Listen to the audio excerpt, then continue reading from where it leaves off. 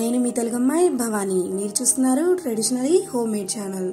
ఈ రోజు నేను మీకు షేర్ చేయబోయే రెసిపీ ఏంటంటే ఫ్రెండ్స్ బ్రౌన్ రైస్తో మనం రైస్ ప్రిపేర్ చేసుకొని తింటూ ఉంటాం కదా అలా చాలా మంది ఇష్టం ఉండదు తినడానికి. సో దాంతోనే మనం దోశలు వేసుకొని కూడా తినొచ్చు. అసలు బ్రౌన్ రైస్తో దోశలు ఎలా ప్రిపేర్ చేసుకుంటారో నేను మీకు ఈరోజు ఈజీగా షేర్ చేస్తాను. మరి వీడియోలోకి వెళ్ళిపోదామా? దీనికి కావాల్సిన ఇంగ్రీడియంట్స్ వచ్చేసి ముందుగా బ్రౌన్ రైస్ ఒక ఫోర్ గ్లాసెస్ తీసుకోవాలి. నేను వచ్చేసి టీ గ్లాస్తో ఫోర్ గ్లాసెస్ బ్రౌన్ రైస్ తీసుకున్నాను. మామూలు మనం దోశలకు ఎలా అయితే తీసుకుంటామో ఫోర్ గ్లాసెస్ అలాగే తీసుకున్నాను. నెక్స్ట్ ఒక వన్ గ్లాస్ మినపగుండ్లు యాడ్ చేసుకున్నాను.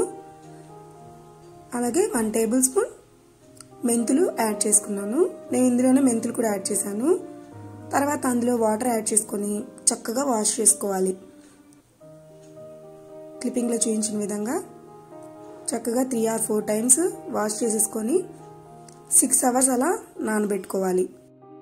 నానబెట్టిన మినపగుండ్లు అలాగే బియ్యం ఏవైతే ఉన్నాయో మనం వాటిని ముందుగా ఒక హాఫ్ గ్లాస్ వాటర్ యాడ్ చేసుకొని గ్రైండర్లో రైస్ అలాగే ఉరద్దాల మిశ్రమాన్ని ఇందులో యాడ్ చేసుకోవాలి. చూస్తున్నారు కదా?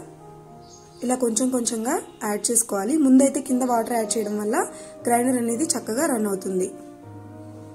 పిండి వచ్చేసి మనం దోశ బ్యాటర్ ఎలా అయితే గ్రైండర్లో వేసుకుంటామో. అలాగే దోశ బ్యాటర్ వచ్చే వరకు చక్కగా మనం తిప్పుకుంటూ ఉండాలి.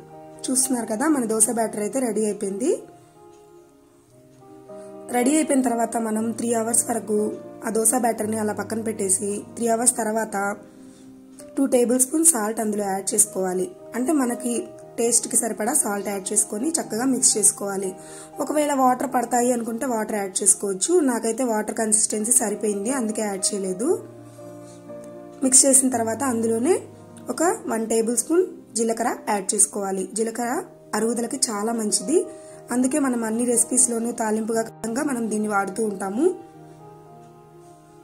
చూసారు కదా? ఇప్పుడు కూడా చక్కగా మిక్స్ చేసుకొని దీని మీదకి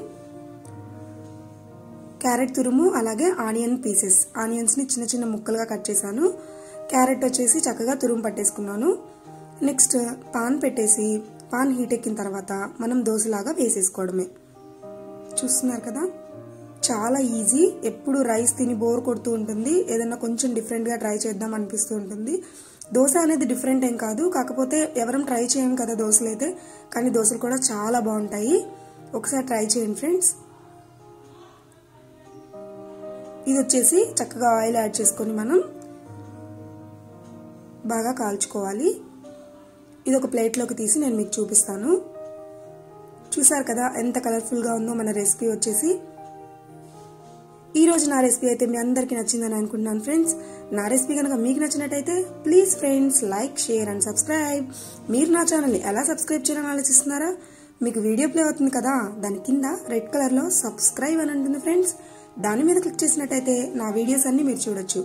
అలాగే నా వీడియో యొక్క నోటిఫికేషన్ మీ వరకు చేరాలి అంటే దాని పక్కనే ఉన్న బెల్ ఐకాన్ మీద హిట్ చేయండి. చూసారు కదా మరి ఈ కలర్ఫుల్ రెసిపీని మీరు కూడా ఇంట్లో ప్రిపేర్ చేసుకొని తిని మీ వండర్ఫుల్ ఒపీనియన్ని నా కామెంట్ సెక్షన్లో మెసేజ్ చేయండి. Thank you friends thank you for watching please wait for my next video bye bye take care guys